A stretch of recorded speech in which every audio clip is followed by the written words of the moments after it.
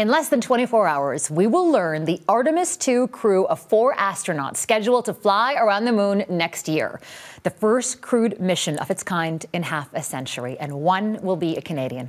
Picked from the country's pool of four active astronauts that work alongside NASA in Houston.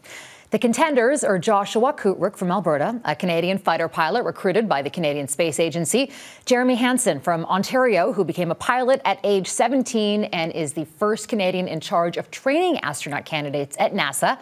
Jennifer Sidey Gibbons from Alberta, the youngest of the group, and a former lecturer at the University of Cambridge in the UK, and a familiar face, Quebec's David Saint Jacques, who flew to the ISS in the longest Canadian space mission to date. Joining me now to talk about this upcoming announcement is retired Canadian astronaut Chris Hadfield, who's also a busy author lately. He's working on a new thriller, a Cold War thriller called The Defector. It's coming out later on this year. As if being an astronaut wasn't enough, Mr. Hadfield, thanks so much for joining us. Um, I want to get right to it. I want to get right to it. Tomorrow, uh, we're going to hear this announcement. You were involved in selecting these four names, and I don't think you're going to give me who you think is best, but let me ask you this. Um, what is NASA and what is the Canadian Space Agency looking for for this specific role?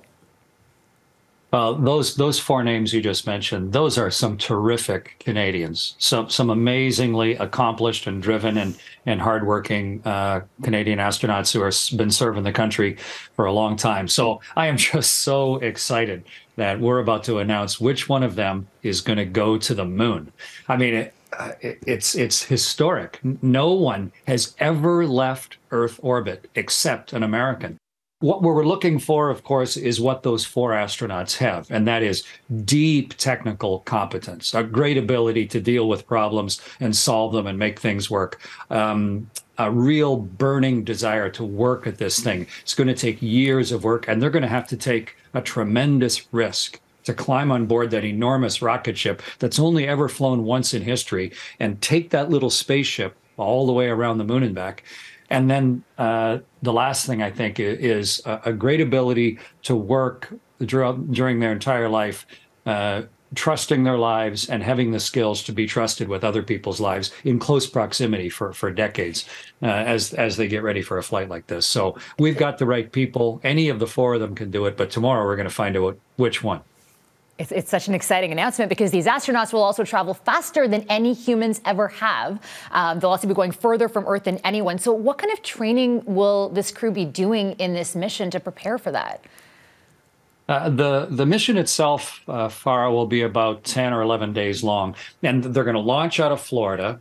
So a large part of their training, of course, is the launch vehicle and all the various things that go wrong during launch and how you can survive it, how you can do different things to to overcome those problems. Then they're going to stay in Earth orbit for several days while they check everything out. They make sure all of the systems work, all of the, the complexities of navigation and all of the life support systems. You know, it's a brand new vehicle and someone needs to do the initial big test flight on it. And then they're going to fire the great big engine that, as you say, will get them faster than anybody's ever gone before so that they can go all the way up to the moon. And it's as if we were throwing a stone so fast that it would go all the way to the moon and then get caught by the moon's gravity and whip around the other side and then fall 400,000 kilometers until it plummets back into the atmosphere. And they have to be able to operate the machine during all of that. And of course, coming back down through the atmosphere where the air slows them down. So it's it's a huge suite of skills and, and and potential risks that they need to get ready for. Uh, let's talk about settlement on the moon. Do you think we're going to see humans live on the moon in our lifetimes? Initially, someone has to take the risk to just show you can get there. But then your technology gets good enough that you can actually start staying longer and longer and really making that part of the whole human experience, the Earth Moon economic system. So, yeah, that's what's going on right now. The early steps towards not just exploration, but permanent human presence and settlement. And that's what this Canadian and, and their three American crewmates are, are signing up to do.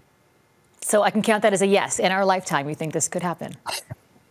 yes. Well, it depends how, how long you're planning to live, Farah, but I'm sure planning to live long enough to see it. Yeah, I, that's coming very fast. And of course, it's not just Canada, not just the United States, but there are 77 countries that have space agencies. This is the start of a big international effort, and there'll be some competition in there. So, yeah, it, that, that's another reason to answer your question yes.